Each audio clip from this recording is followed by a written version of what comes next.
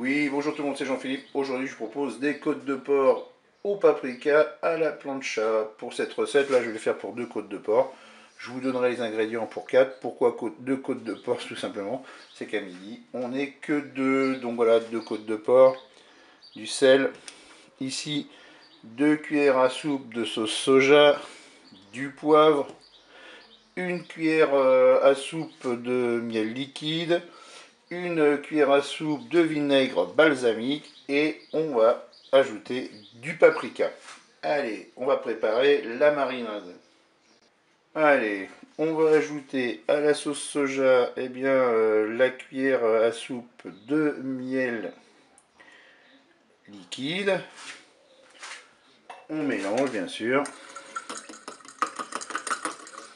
On va ajouter le vinaigre balsamique. On mélange également.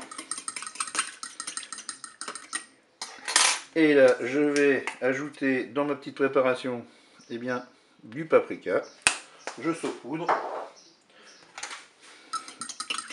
Et je mélange. Je vais prendre un petit pinceau, je vais badigeonner eh bien, mes côtes de porc avec ma marinade.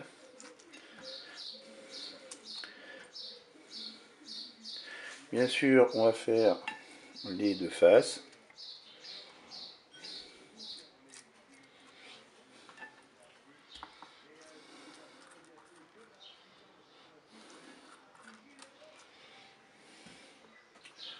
On va poivrer légèrement. Pour le sel, j'attends toujours le moment de la dégustation. Et bien là, on va pouvoir aller démarrer notre cuisson. Allez, on va démarrer notre plancha. Et puis, bien sûr, on va mettre de l'huile. On met l'huile sur la plancha. Moi, j'étale tout simplement avec un sopalin pour répartir.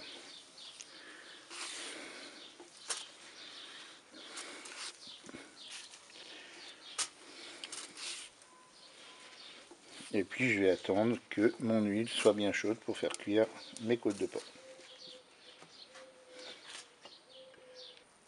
Mon huile est chaude, je vais pouvoir faire cuire mes côtes de porc.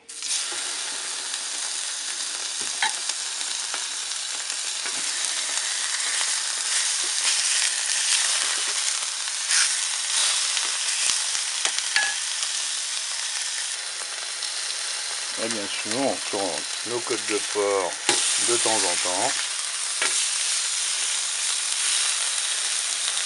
Et puis on en profite à chaque fois, peut-être, pourquoi pas, eh bien, pour les badigeonner, pardon, avec euh, notre préparation. Ouais, je retourne euh, mes côtes de porc. Et je rebadigeonne bah, tant qu'il me reste euh, ma préparation, ma marinade, et eh bien, à chaque fois que je retourne,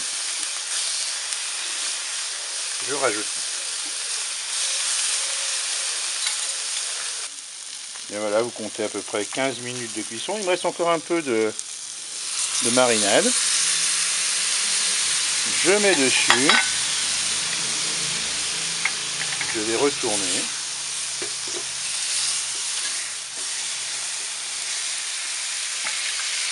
Et puis voilà, il ne me reste plus qu'à servir cela chaud avec, et eh bien là, ce que j'ai fait, un petit euh, gratin d'aubergine. Je vous dis au revoir et à bientôt pour d'autres recettes.